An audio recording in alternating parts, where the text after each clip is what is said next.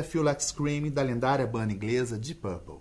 Essa música faz parte do álbum Perpendicular, lançado em 96, sendo o 15º disco lançado pela banda inglesa. Agora, o mais interessante é que esse disco ele marca a entrada triunfal do brilhante guitarrista Steve Morse, deixando o Deep Purple com novos elementos musicais. A gente percebe isso, obviamente, nos arranjos. Agora, falando tecnicamente sobre a música, nós temos essa composição em Ré menor, com várias modulações no último solo da canção. Lá para finalzinho da aula eu vou falar melhor sobre isso, né? Mas o interessante é que você pode começar a música com o violão e depois passar para a guitarra, como o próprio Steve Morse faz em algumas apresentações na hora de interpretar essa música. Mas caso fique um pouquinho difícil para você, você pode executar toda essa primeira parte da canção diretamente na guitarra, como também o Steve Morse faz, né? Então vamos lá, vou começar a aula com o violão, seguindo ali o arranjo original, e nós vamos ter aí uma introdução já preparando aí o primeiro verso. O interessante dessa introdução é a forma como você vai digitar, ok? Então vamos conhecer com a tablatura a introdução da música.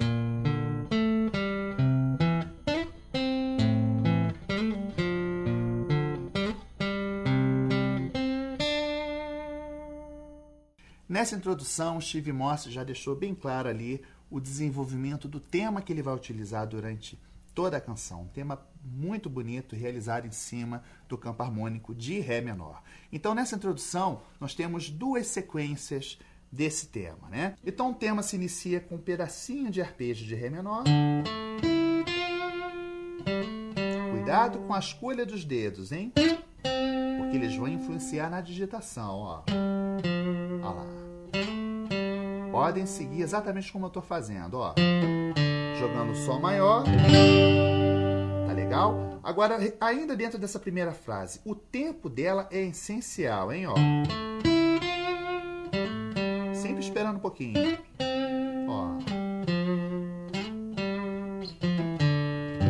Nós temos a repetição do tema, agora com uma nova variação de condução de acorde. Então, o que acontece?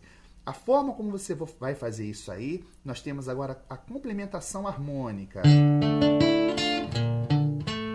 Então, logo de cara, você pode montar um desenho aqui de Ré menor que ele vai te ajudar, movimentando apenas o dedo 2, ó. Tá? E a palhetada para baixo vai te ajudar, ó. Somente nessa segunda corda que você pode alternar.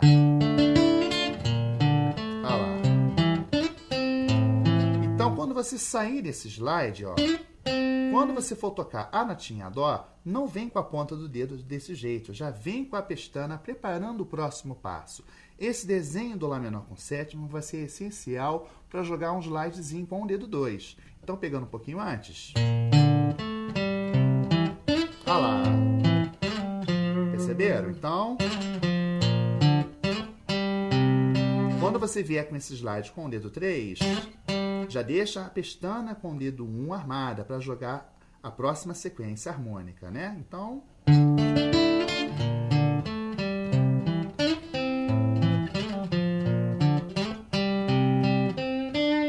Nessas últimas notas, ó, pequeno bend disfarçado, né, ó.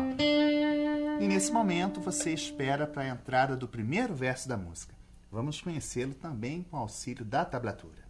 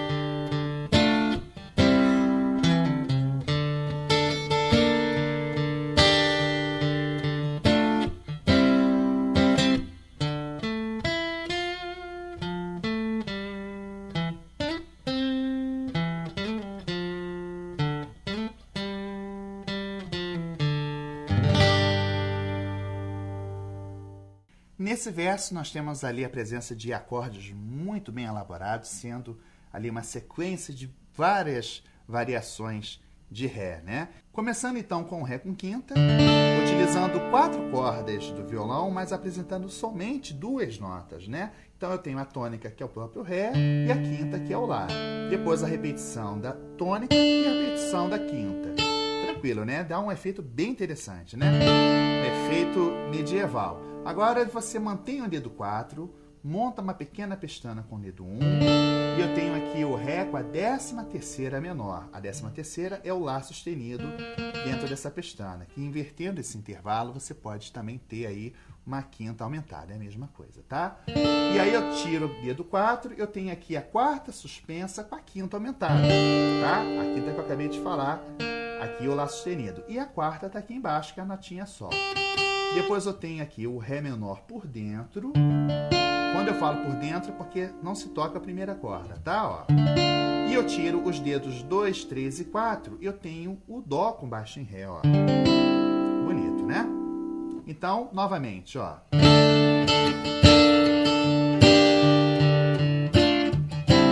E aí o legal é que essa frase aqui, ó,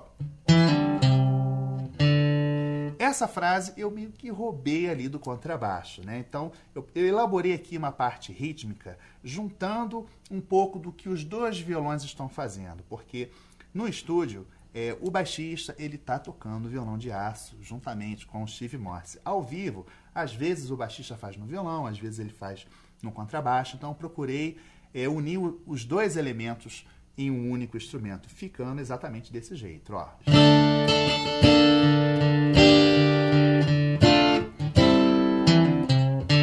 E todas essas vezes que eu fico fazendo uma nota pedal com paletadas para baixo na quarta corda, também é um pouco da interferência desse baixo. Então olha só como é que fica legal, né? Já indo para a segunda frase.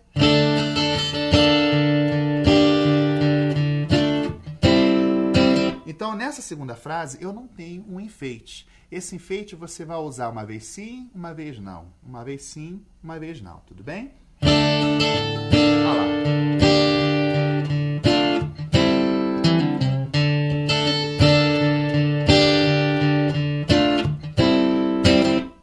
Verso, sendo o primeiro da música, ele é diferente de todos os outros, porque é o único verso que tem a repetição do tema da introdução com mais uma modificação, né? Então, no finalzinho da quarta repetição, né, dessa sequência harmônica, nós temos mais aquela frase apresentando o tema. O interessante dessa frase é que nós temos a repetição do primeiro tema da introdução, só que com algumas notas a mais. Essas notas a mais a gente pode chamar de notas de preparação ou notas de condução. Por exemplo, ó. Isso aqui é o da introdução. Agora do final do verso 1, ó. Perceberam? Olha lá. Interessante a forma de compor, né? Então, logo em seguida, nós temos a entrada do segundo verso da música já com a guitarra. Então, mais uma vez, vamos assistir aí o vídeo somente desse trecho da música, só que em vez da tablatura, vou colocar os acordes já executando com a guitarra para você tirar as últimas dúvidas, caso você tenha nesse trecho. Então, vamos lá.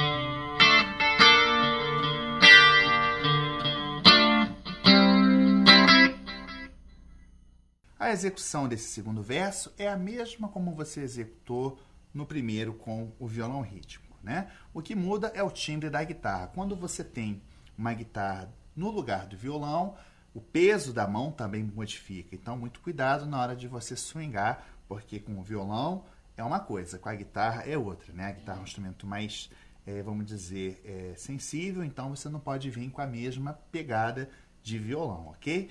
Mas a forma de executar é a mesma coisa. O que eu chamo a atenção é apenas a entrada do verso 2, já que você tem a entrada de toda a banda. Então, pegando lá do finalzinho da saída do violão, vou fazer na guitarra mesmo. Quando você executar aquele sol maior, você conta quatro pulsos para entrar no tempo 1 um certinho, juntamente com toda a banda. Então ficaria assim, ó. Então pegando lá da saída do verso 1, um, ó.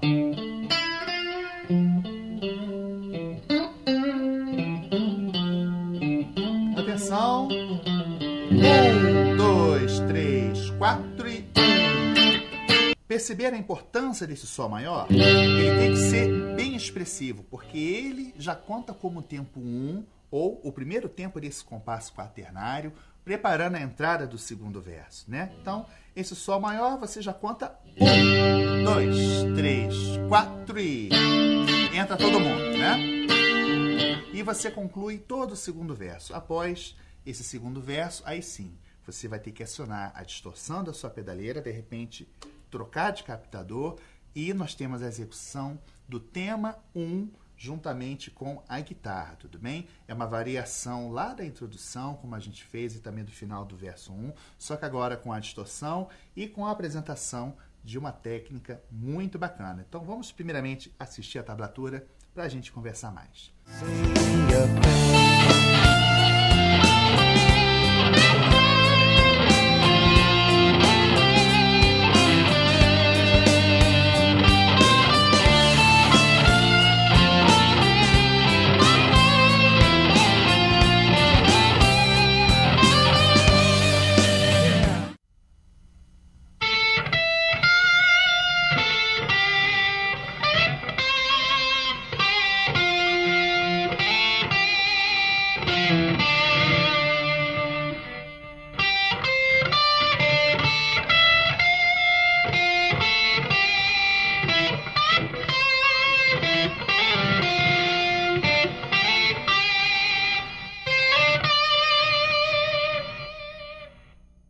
Bacana esse trecho, né? Então, em todas as tablaturas dessa aula, como vocês já perceberam, sempre tocando anteriormente no andamento original da música e logo em seguida no andamento mais lento com a tablatura. Então, antes de falar propriamente desse primeiro tema com a guitarra, vou falar sobre os timbres que eu estou utilizando, né? Então, nas partes com som limpo da guitarra, eu estou utilizando aqui no meu pedal um pequeno efeito de coros, né, ó. Deixando ali um delay bem levinho, né, ó. Perceberam mais uma vez? Ah lá. Também com uma pequena pitada aí de reverb, tá? Não pode ser muito, porque senão a gente exagera no timbre. E quando você entra na distorção, é até uma característica do Steve Morse. Né? Ele gosta, eu percebo isso na maioria dos solos mais melódicos dele. Né? Ele gosta de um pequeno delay também em cima de suas frases. Ó. Ah lá, perceberam? Então, uma, uma, distorção bem aveludada, você pode regular aí no seu próprio amplificador, a seu gosto, ou no seu próprio pedal, deixando com um som bem rock and roll e ao mesmo tempo brilhante.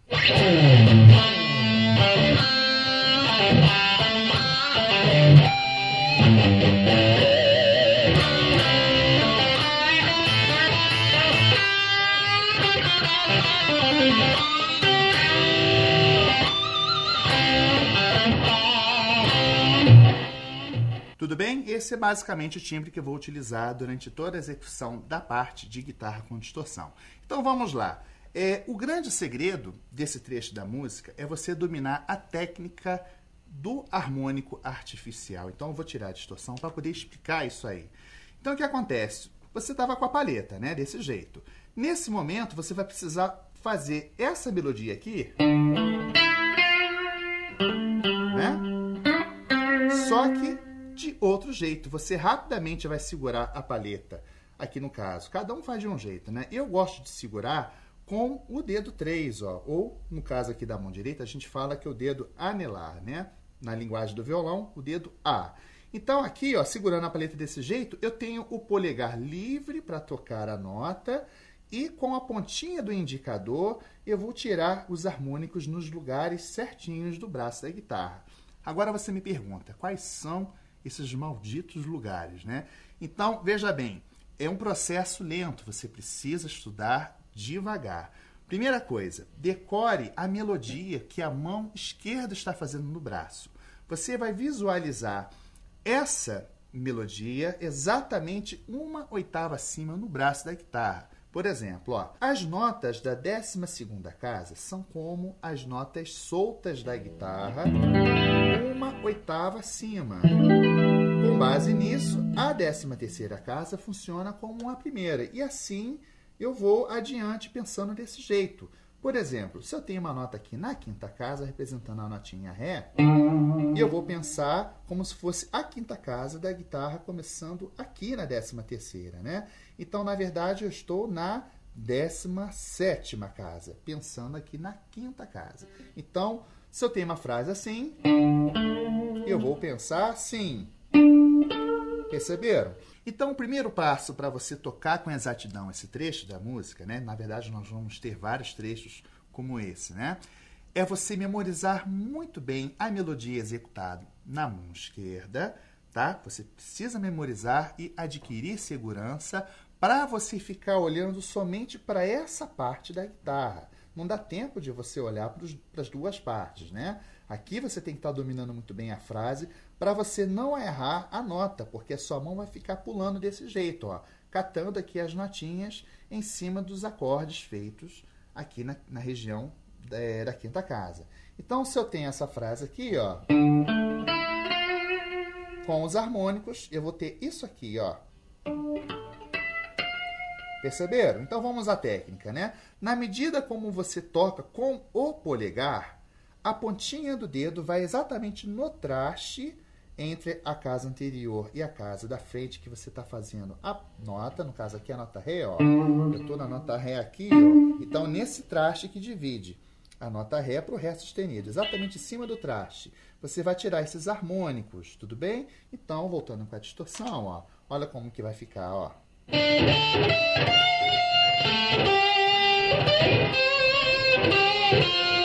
Tocando desse jeito, a gente percebe até alguns ruídos, né? Porque eu não estou tendo acompanhamento nenhum de nenhum outro instrumento, então fica mais visível aí as sujeirinhas.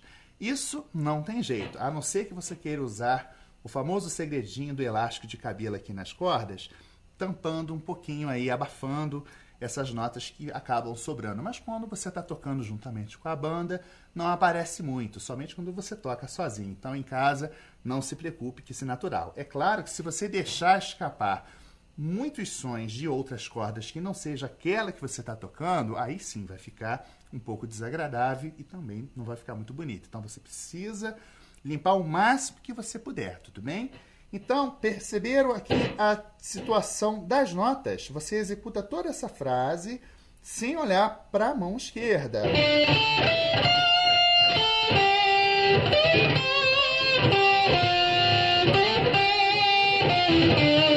Aqui eu tive uma nota ligada, né? Ó. Quando eu tenho nota ligada, não dá para fazer aqui com o tapping. Eu tenho que visualizar a nota somente aqui, ó. Né? Todo esse primeiro tema, né, com a distorção, eu fiz sem aquela nota de preparação, estão lembrados? Na repetição dele, ainda nesse trechinho, nós já temos ali as notas de preparação, né? Então, mais uma vez, né? Ó. Só a frase. Aqui um pequeno bend, ó. Slide. Uma pequena frase de ligação. Após a frase de ligação, eu tenho a repetição do tema com as notas de preparação. Cuidado, hein, ó.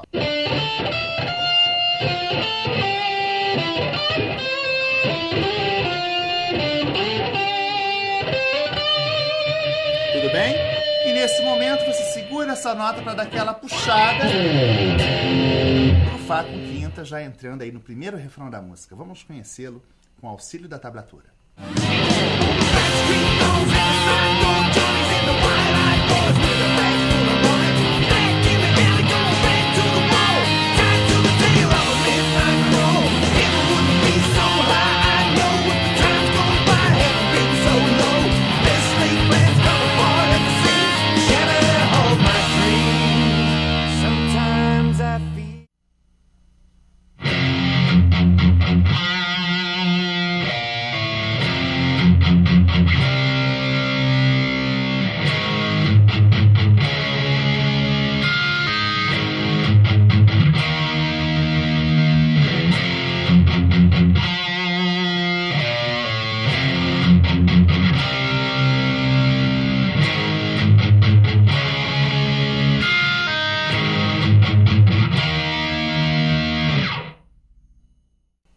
Da música, ao mesmo tempo que ele é bem forte, bem expressivo, a parte de guitarra ela é simples e ao mesmo tempo muito bonita, né? Então nós temos aí pouquíssimos power chords.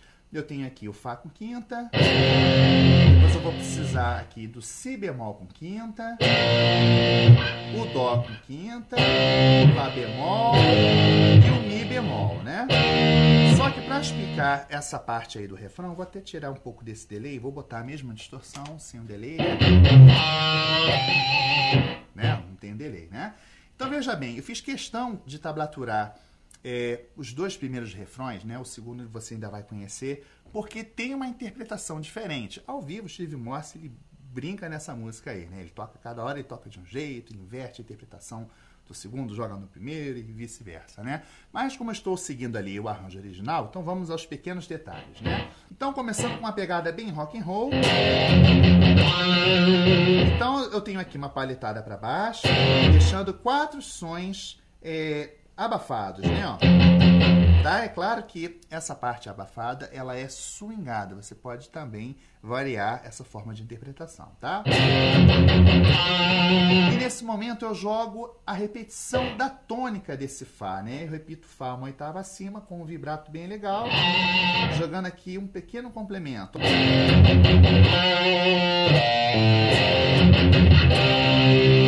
Dó, eu deixo ele soar todo o compasso, né? Então faço a mesma coisa nesse, nesse Lá bemol. E no momento que eu jogar o dedo 3 aqui, observe que eu, eu gosto muito de fazer os, os power chords com os dedos 1 e 4. Mas nesse momento eu achei interessante jogar o dedo 3 para jogar o Dó sustenido. Aproveitar essa pestana aqui do acorde anterior, que na verdade é uma pestana só para cortar o som das cordas agudas, né? Eu jogo o dedo 3 aqui, ó, para ter o dedo 4 livre para fazer esse pequeno enfeite com a sétima desse dó sustenido, né, ó. E essas notinhas, elas vão se misturar com o som que já foi produzido no dó sustenido, né, ó. Ó. Não abafe o pau acorde de dó sustenido, senão fica um buraco danado, ó. Perceberam? Quando você jogar, no caso aqui, a notinha Fá, né, ó, você tem que ter a sonoridade do Dó sustenido.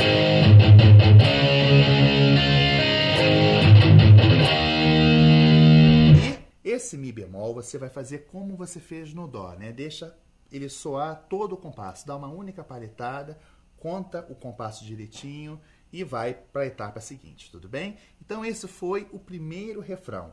Logo após o primeiro refrão, a gente entra no verso número 3. O verso número 3 é emendado no verso 4. O que divide esses dois versos é ali a presença de um pequeno interlúdio feito com acordes bem simplificados, né? Então vamos conhecer esse trechinho para a gente falar sobre ele.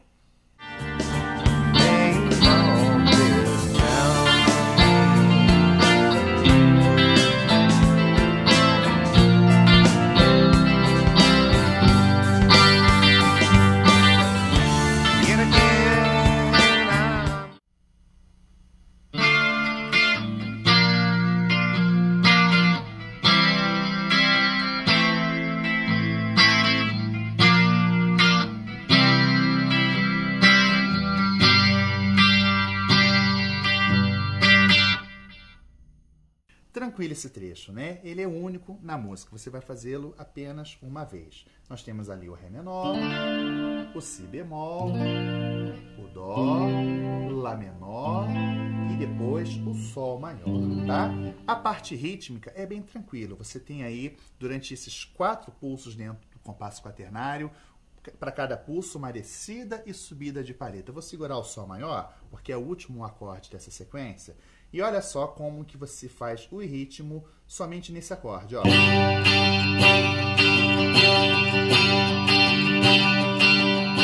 Mais devagar.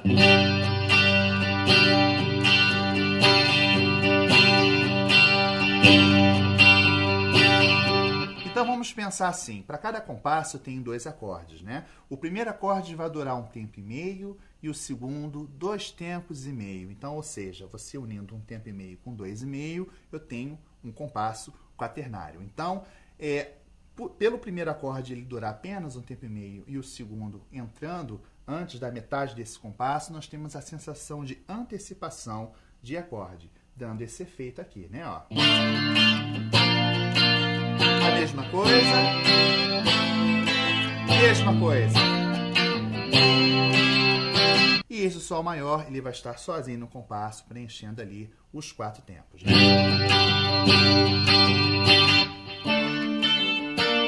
Tá? Para você cair no quarto verso, do jeitinho como você já fez no primeiro, no segundo e no terceiro, tudo bem? Após a execução aí do quarto verso, aí a gente entra no tema 2, feito com a guitarra com distorção, utilizando a técnica do tapping, tudo bem? Então vamos ver no andamento normal e no andamento da tablatura. Bem,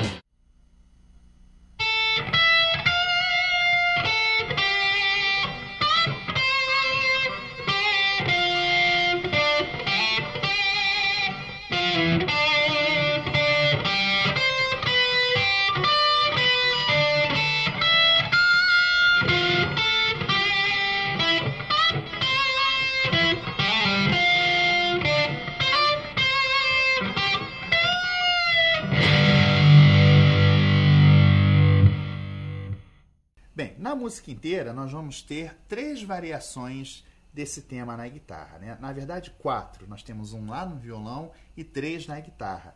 Dois na guitarra somente nesses trechos da música e o terceiro ele vem depois do primeiro solo, né? Confusão danada, né? Mas na hora de você botar isso em prática vai ficar mais fácil de entender. Mas interessante é que, obviamente, o que aconteceu comigo vai acontecer com você você vai fazer a maior confusão no momento de decorar esse segundo tema com o primeiro, porque eles são parecidíssimos, mas tem ali umas pequenas variações. Essas variações não tem jeito, você tem que buscar é, marcações aqui na digitação para você decorar mais rápido. Então, as dicas para você decorar isso mais rápido são as seguintes, né? Então veja bem, o segundo tema ele começa como o primeiro. Eu não tenho notas de condução. Lembra aquela nota que ajuda a próxima frase? Ela só vai aparecer na quinta frase. Então veja bem, ó, vou até contar essas frases para vocês não se perderem. Então começando na primeira, segunda, terceira, quarta, agora. Perceberam? E aí, entre essa primeira frase longa e a segunda, né, nós temos uma frase de condução. Ó. Muito cuidado que ele é fácil de errar, né? Ó. O segredinho aqui, ó, como você estava com o dedo 1 um saindo do finalzinho da frase, você utiliza ele, obviamente. Nessa nota aqui, ó, eu jogo o dedo 2, porque eu vou precisar do dedo 1 um na quarta casa paradinho lá, trabalhando os outros dedos na frente dele. Então, ó. Para facilitar, né? E quando entra a segunda parte desse tema, aí sim você vai ter todas as notas de condução. Então vamos lá, ó. Pegando então dessa frase intermediária.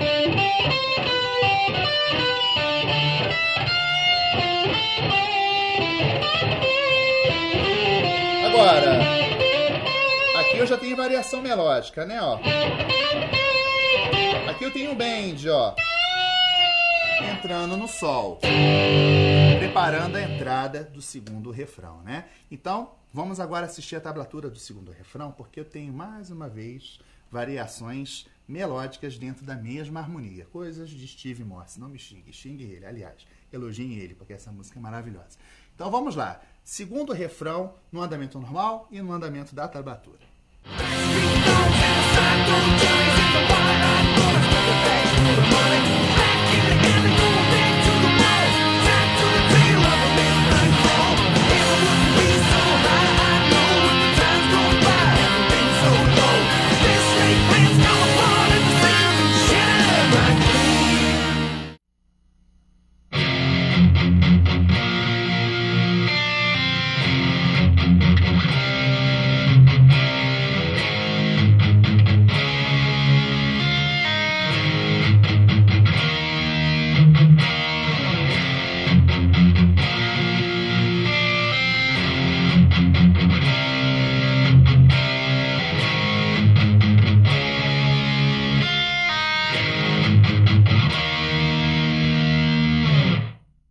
Conseguiram perceber a leve diferença?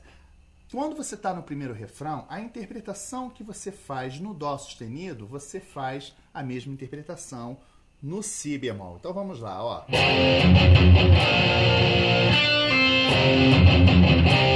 E naquelas notas que duravam um tempão, né, aqueles pau e acordes que ficavam o tempo todo em um único compasso, vocês podem preenchê-lo agora, finalmente. Né?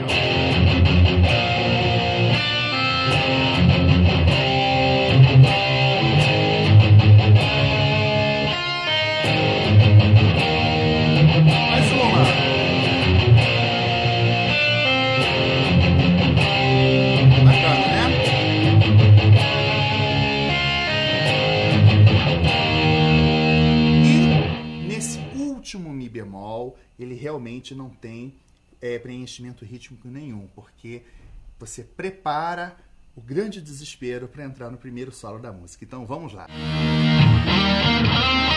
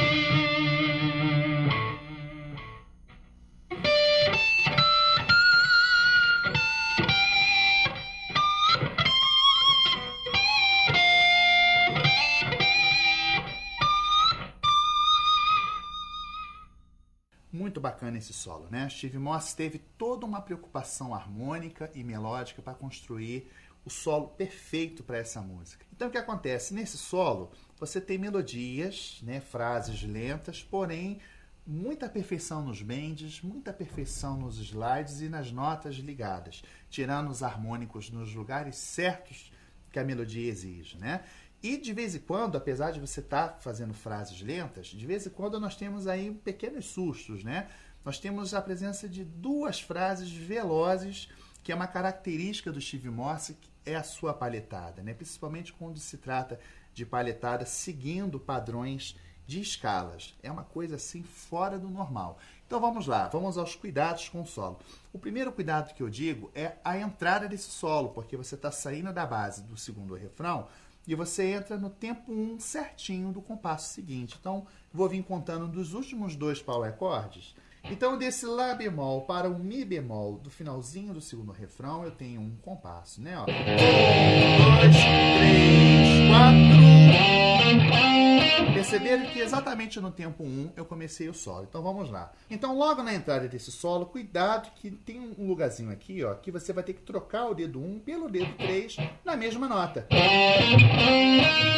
Perceberam? Então eu tive que fazer isso por causa do slide que a frase me pediu, né?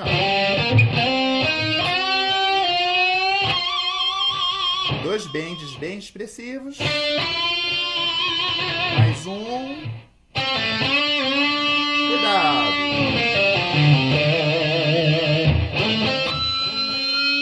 Você voa para a 13 terceira casa, continuando essa fraseologia. E agora, cuidado com isso aqui, ó. Esse bend é muito característico do hard rock, do country e do blues, né? Onde eu executo duas notas e somente a mais grave eu tenho um bend de meio tom. Então aqui, cuidado que nessa primeira... Eu tive duas pequenas frases, né? Nessa primeira eu tive com uma única paletada três notas, ó. Aliás, quatro, né? Eu tive um hammer-on por off mais um slide, né? E a mesma coisa somada com por off. Olha lá. Então,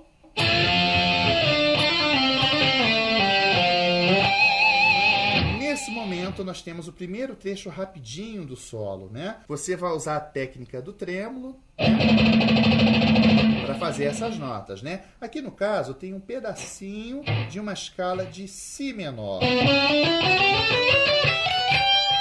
Aliás, pedacinho não, né? Eu tenho a escala inteira do si menor. Agora, interessante que dentro da harmonia a gente está ali em Ré menor né, o tempo todo. Nesse momento, o Si menor ele não faz parte do campo harmônico de Ré menor, né? Ele, o que faz parte ali é o Si bemol. Mas aí você me pergunta, pô, mas o Si menor, como que ele se encaixou? A gente está falando de Steve Morse. Então, o que acontece? Nesse finalzinho né, da sequência harmônica é aquele Sol maior lá da sequência harmônica do interlúdio que você já conheceu. É a base desse solo, é aquele interlúdio que você já viu, né?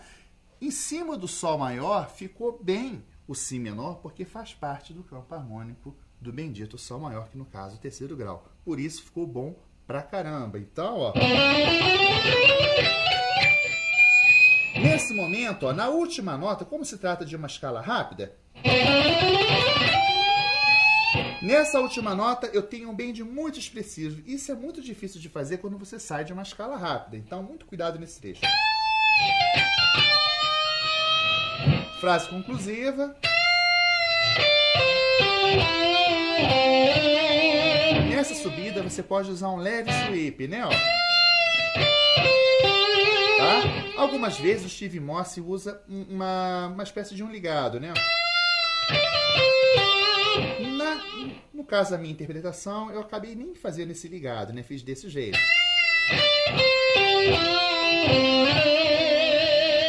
Nesse momento temos mais uma escala rápida. Aí sim, o Steve Morse ele foi exatamente em cima do acorde da base, que é o Sol maior. Né? Então nós temos aquele desenho clássico de escala de Sol maior nesse trecho. Sendo que na última nota você tem aquele bend chorado como você teve naquela outra escala no trechinho anterior, né? Depois desse bend, se prepara, porque duas casas à frente eu tenho mais o bend chorado também, né? E nesse momento você já olha aqui para nona casa, porque você vai ter que esconder a palheta na sua mão de novo para poder fazer aqueles harmônicos, né? Ó. Então, o detalhe que eu chamo a atenção nesse trecho é você memorizar essa pequena frase, né? Ó para você fazer essa frase sem olhar para essa mão, né? Então, ó. Então, nessa nota dó, feito com o dedo 2, é o momento que eu trago a palheta de volta para o seu lugar original. Então, é uma outra etapa do solo que você tem que treinar em casa, né? Esse posicionamento de palheta, uma hora segurando aqui atrás, outra hora tocando com o polegar e o indicador. Então, mais uma vez, ó, vou repetir. Olha lá. Fechando a frase.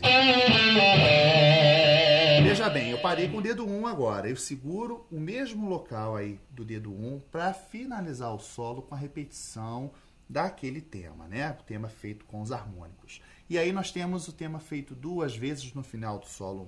Reparem que a primeira vez eu começo com a nota de preparação e o restante não tem a nota de preparação. Então.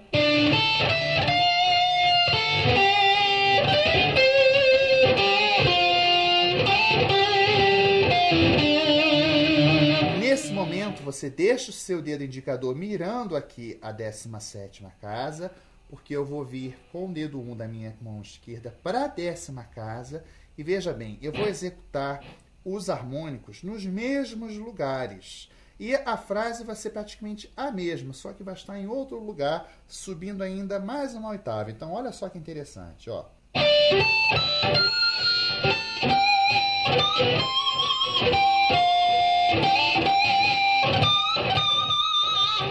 Agora veja bem, exatamente nesse momento que a minha mão sobe aqui para fazer essa oitava maluca com os harmônicos, Aí você pode me questionar, pô, Farofa, você não explicou que para fazer esses harmônicos artificiais você tem que ter a distância certinha de uma oitava? Você saía dessa oitava vindo para cá. Então, como que esses harmônicos fluíram? Aí já entra a velha jogada da união do conhecimento teórico com o bom gosto. Steve Morse faz isso melhor do que ninguém, né? Então, o que acontece nesse trechinho aqui? Quando eu saio da nota Ré e venho para a nota Sol, né, no caso, décima casa, quinta corda, iniciando a frase mais uma oitava acima, eu tive aqui um pulo de uma quarta. E aí já, o Steve Moss ele utilizou daquele conhecimento dos graus tonais. Que são os graus tonais? São aqueles graus que todo o campo harmônico está dentro dele. Se você analisar cada notinha, no caso nós temos o primeiro grau que é a tônica, o quarto grau subdominante e o quinto grau dominante. Aqui no caso, ele usou o, subdo, o subdominante e ficou bonito a beça. Então, mais uma dica aí de harmonia para vocês. Logo após esse trecho, você entra mais uma vez na repetição do refrão e você faz quatro vezes o refrão como você fez o segundo, né? A gente está indo para o terceiro, então você faz a mesma coisa como você fez no segundo refrão. E logo em seguida a gente cai no último solo da música. Então, vamos conhecê-lo no andamento normal, com a tablatura, porque esse solo vai te dar um pouquinho de trabalho. Vamos lá. segundo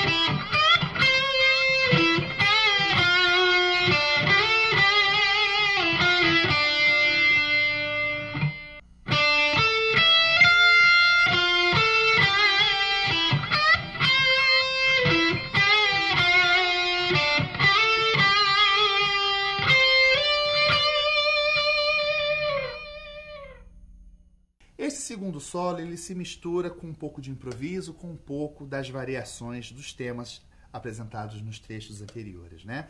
Mas uma palavra resume claramente a composição desse segundo solo. A palavra genial. Não tem outra palavra para dizer no lugar dessa. Porque o Steve Morse, além de um belíssimo gosto, já falei isso um trilhão de vezes, ele mais uma vez utilizou do seu conhecimento teórico para fazer uma coisa muito bacana, muito legal, né? Que a sensação que eu tenho quando eu estou tocando essa música é que ela está crescendo, crescendo, não para de crescer e chega uma hora que ela explode, né? O que, que ele fez aqui? Nós tivemos cinco mudanças de tonalidade. Olha só, ele foi mudando de um tom para o outro, para o outro, para o outro, até chegar no tom original da música. Antes de falar das frases, vamos falar da base desse solo, que é uma coisa maravilhosa. Então veja bem, você estava na harmonia original da música.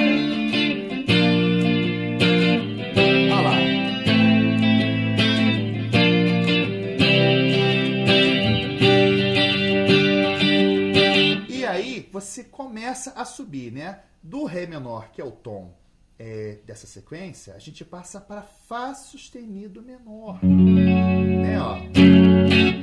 Essa subida é uma terça maior, tá, gente? Mas aí o que acontece? O Steve Morse ele prepara a ideia principal a partir desse Fá. Já vou explicar, ó. Olha lá.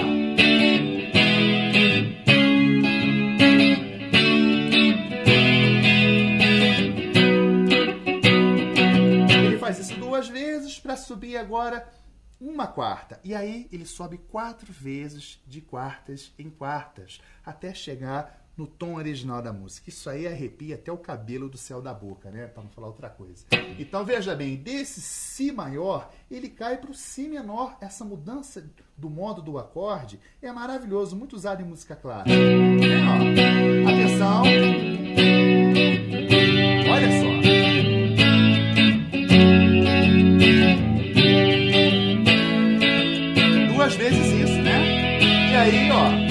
Uma vez eu mudei a, o modo do acorde.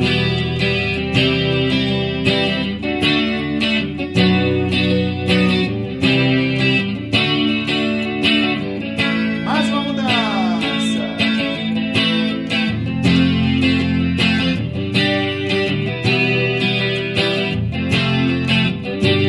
Duas vezes tudo? Depois do Ré, quando a gente já não tem mais a respiração para solar, o camarada me chega no tom original. Sinistro, né? Então, nesse momento, vamos ao solo, né? Então, iniciando o solo em Fá sustenido menor. Ah, pessoal, desculpa, lembrei de um detalhe importante.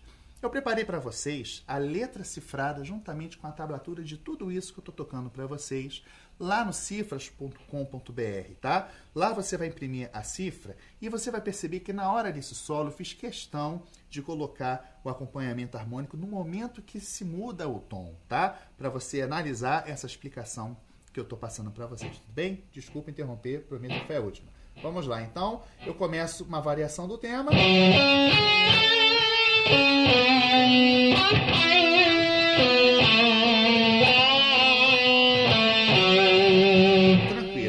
tive nada de anormal aqui. Aqui o Steve Morse pediu aquela nota de preparação. Ó. Aquele soco no estômago, esse bend, né?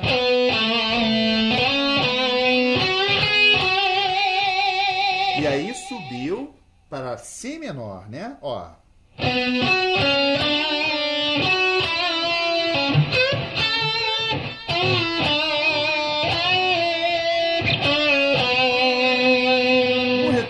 tema, não uso a nota de preparação, vou direto. Aqui sim. Frase conclusiva. Mais um soco no estômago da gente, ele muda para Mi menor e.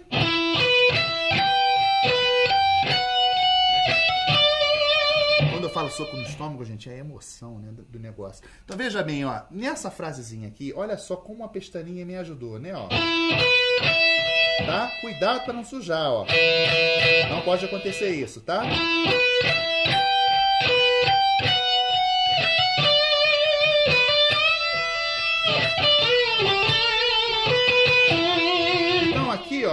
Nessa subida que você pode utilizar a técnica do sweep para não errar a corda. Vou fazer devagarzinho. Essa frase feita na velocidade da luz, você vai fazer isso utilizando a mesma escala como você utilizou naquele trechinho anterior lá do solo 1, né? Aquela primeira frase, tá?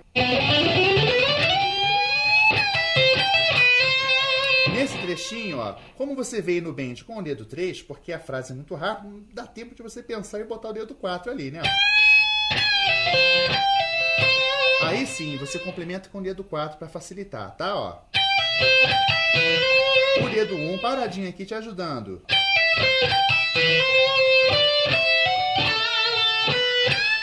Cuidado com esse salto de cordas.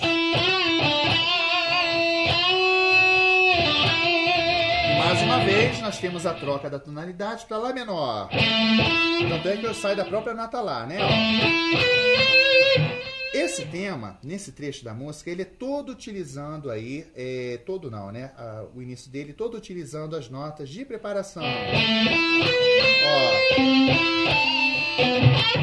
Agora não. No momento de muita pegada, como você está segurando o Ré maior na base dessa tonalidade, né, nesse trecho do solo, ele pega o próprio Ré maior e joga em forma de escala. Tá? Isso aí, gente, é com muita pegada e muita percepção rítmica.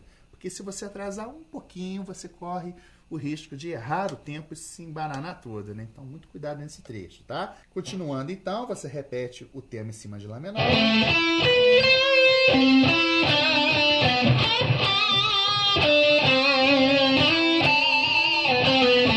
E finalmente a gente volta pro tom original da música.